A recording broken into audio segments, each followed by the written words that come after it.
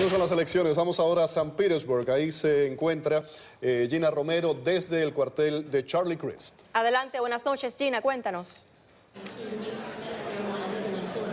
Gracias y muy buenas noches. Continuamos aquí en San Petersburg en el Hotel Renaissance, donde hemos visto caras largas. Desafortunadamente hasta el momento Charlie Crist ha perdido esta carrera por la gobernación de la Florida. Nos acompaña en este momento Lizeth Ocampo del grupo latino Victory. ¿Cómo se sienten con esta derrota?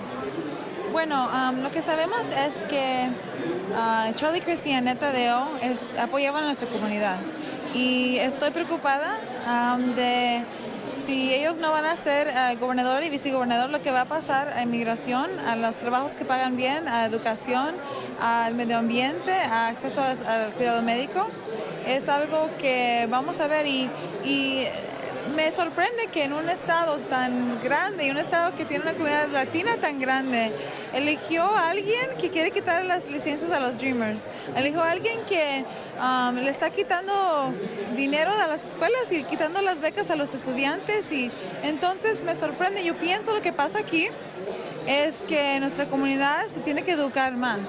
Se tiene que educar. Esta contienda fue muy reñida todo el tiempo. Esto se vivió aquí en este centro como un partido de fútbol. Gritaban, estaban tristes, volvían a reír. Sí, por todo el tiempo desde el principio sabíamos que iba a ser difícil. No es común en toda la historia del país que alguien que era republicano y luego que era demócrata que gane algo así.